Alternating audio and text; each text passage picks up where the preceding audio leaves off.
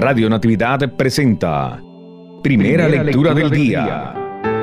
Del libro del profeta Daniel, capítulo 1, versos 1 al 6 y 8 al 20.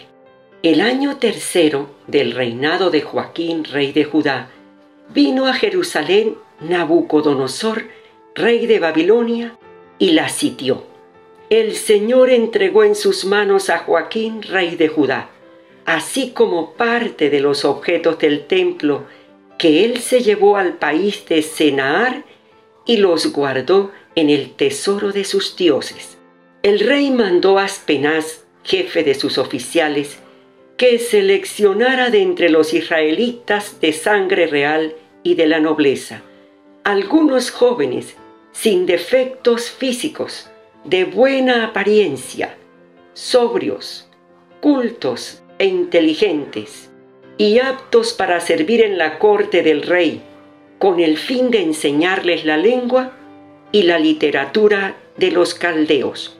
El rey les asignó una ración diaria de alimentos y de vino de su propia mesa. Deberían ser educados durante tres años y después entrarían al servicio del rey. Entre ellos se encontraba Daniel, Ananías, Misael y Azarías, que eran de la tribu de Judá. Daniel hizo el propósito de no contaminarse compartiendo los alimentos y el vino de la mesa del rey, y le suplicó al jefe de los oficiales que no lo obligara a contaminarse. Dios le concedió a Daniel hallar favor y gracia ante el jefe de los oficiales. Sin embargo, éste le dijo a Daniel, Le tengo miedo al rey mi señor, porque él les ha asignado a ustedes su comida y su bebida, y si llega a verlos más delgados que a los demás, estará en peligro mi vida.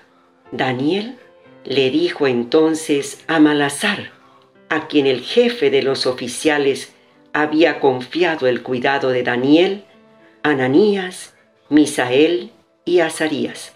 Por favor, haz la prueba con tus siervos durante diez días, que nos den de comer legumbres y de beber agua. Entonces podrás comparar nuestro aspecto con el de los jóvenes que comen de la mesa del rey y podrás tratarnos según el resultado. Aceptó él la propuesta e hizo la prueba durante diez días. Al cabo de ellos, los jóvenes judíos tenían mejor aspecto y estaban más robustos que todos los que comían de la mesa del rey. Desde entonces, Malazar les suprimió la ración de comida y de vino y les dio solo legumbres. A estos cuatro jóvenes les concedió Dios sabiduría e inteligencia en toda clase de ciencia. A Daniel además el don de interpretar visiones y sueños. Al cabo del tiempo establecido, el jefe de los oficiales llevó a todos los jóvenes ante Nabucodonosor y se los presentó. El rey conversó con ellos y entre todos no encontró a nadie como Daniel, Ananías, Misael y Azarías.